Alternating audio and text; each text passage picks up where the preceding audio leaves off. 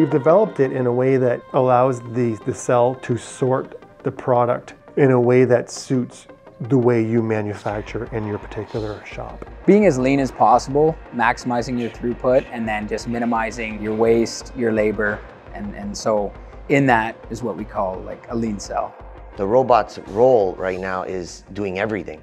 I mean, 80% of what needs to be done is done with that cell.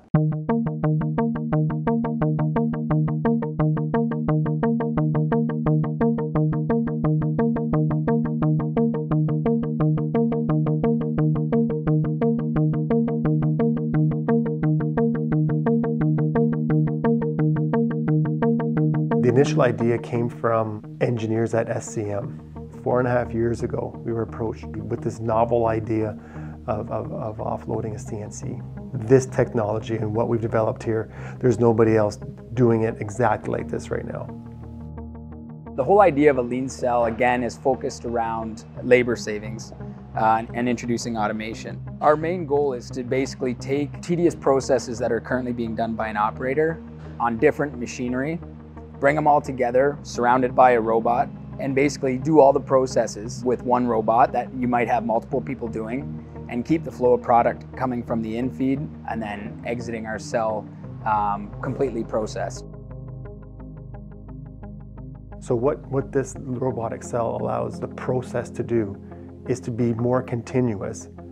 What the lean cell provides is what I would describe as a heartbeat.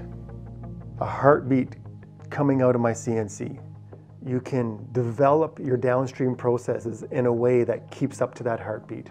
And if, and if you do that, you will, you will have a, a very productive and, and efficient lean manufacturing shop.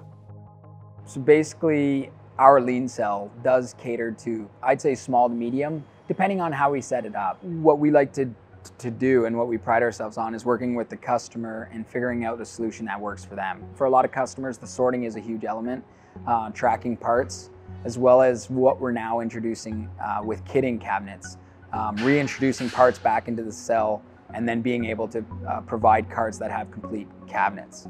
It's, it's something that can be used both in volume and in custom, and I'm the proven fact. Like I do, you know, maybe two kitchens a month that are custom, you know, the one-offs. I do 30 kitchens a week for high rise. You know, we, we take a part off a CNC and, and we have the information required to know exactly what that part is and then what we're gonna do with it.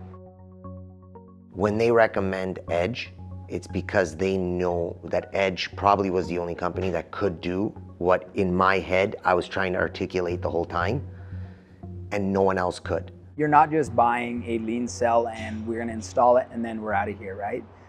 What we sell is, is definitely the partnership. The lean cell that we've developed is cutting edge.